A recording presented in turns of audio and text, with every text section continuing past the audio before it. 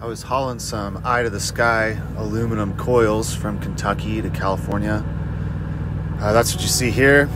Uh, I got to about Oklahoma and the wind was catching the tarps all wrong. I didn't wasn't happy with how I'd done it, so I'm just changing things up. I'm trying to do a little bit better job so that I can keep the freight dry and also keep the tarps from tearing apart in the wind, that kind of thing. Um, this ended up working pretty decent. I haven't been on here in YouTube for a while. I've been trying to figure out my best way to get my content out there. I've been doing a lot of videos just like this you can see here, time lapse type stuff of working my loads, doing my work. Um, a lot of that's been going up on TikTok.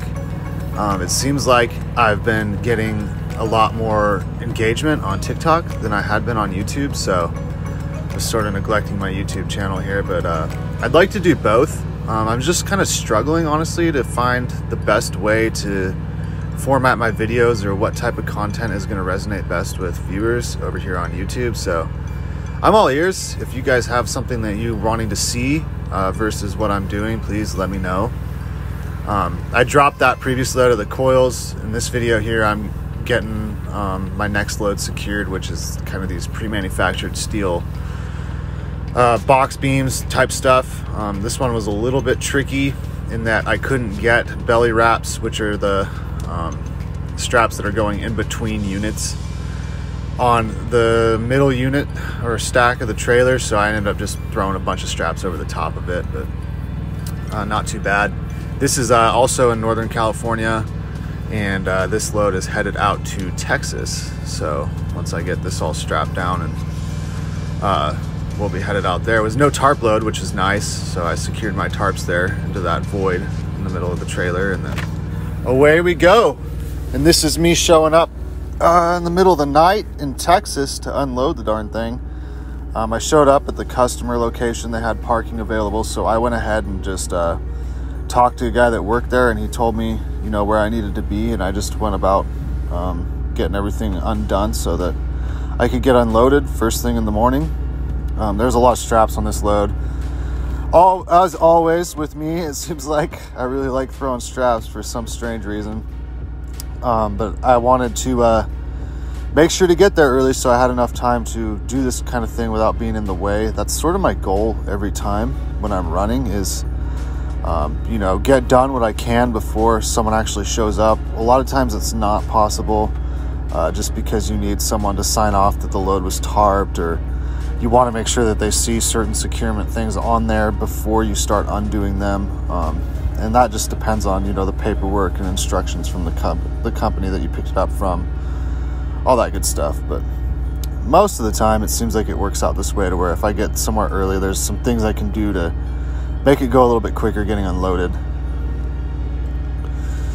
Um, rolling straps. I know uh, many people have told me that I need to get a strap winder I recognize that I'm probably in the small minority, but for some reason, I just I get a big thrill out of rolling these straps up by hand.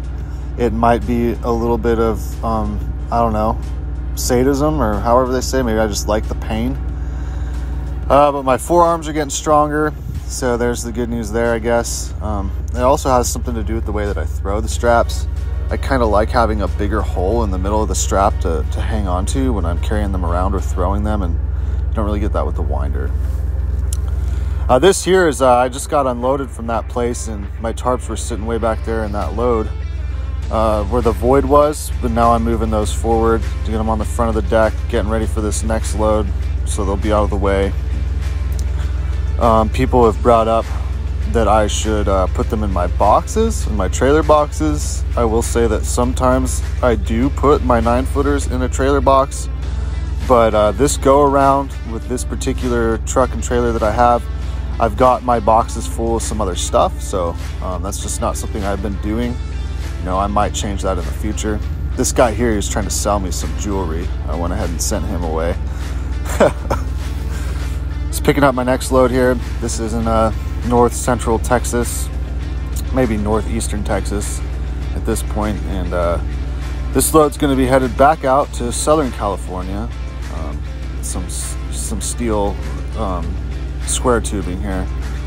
Um, this particular customer said no X chains front and back. Um, they're really concerned about the product. It's got special um, spec on there. They don't want any uh, tapered ends or anything like that. So, not tapered, but damaged. So, uh, to mitigate for that, I just decided I was just going to throw a bunch of straps over the top of it and do a bunch of bellies in between. And I'm using an extension pole that I bought at Menards to get in between those units there. Uh, that works pretty good most of the time for me. Um, pretty pretty helpful to be able to push them through on the strap side. I don't get a big thrill out of doing my bellies by pushing the metal hook at the other end of the strap through. It seems like that just takes me longer and ends up aggravating me more. So it's nice to be able to throw the strap over the, the load and then use the extension pole to push it through is just a process that seems to have been working well for me. Um, this is again probably overkill. Um, when I posted this video over on TikTok, I got some comments that I was, you know, doing too much work, put these straps on, and that very well may be true, but I've sort of always been, since I've been flatbedding, uh, just overly cautious. Uh, my camera died. I didn't get any footage of throwing the tarps, but the tarps came out okay. Took a break in Buckeye, Arizona. Um, I uh, long ago used to work for a company based out of Buckeye, Arizona, and uh, I had signed up for Planet Fitness while I was there. And of course, once I stopped working there, it wasn't really that relevant to me anymore. Um, but Planet Fitness wouldn't allow me to cancel my membership anywhere except for the place where I signed up, which was Buckeye, Arizona. And of course, living in the Pacific Northwest, I don't have much occasion to be in Arizona, but it just so happened that this load afforded me time to be there. So I loaded up my bicycle, um, headed over to Planet Fitness to cancel my membership after about three years or so of them stealing money from me every single month. Man, it felt really good to be liberated from the $4 Gatorade. Those guys are a bunch of thieves. Uh, no offense to anyone that uses Planet Fitness, but uh, those fitness centers, gyms, they'll really get you for the money and all that good stuff. So, anyways, I'm just sitting on my reset now here in Southern California, waiting to unload in the morning. Um, and that'll be that. I'll try to get a video out again next week. I'm going to try to stick to a weekly cycle from this point, and that's kind of my plan for now.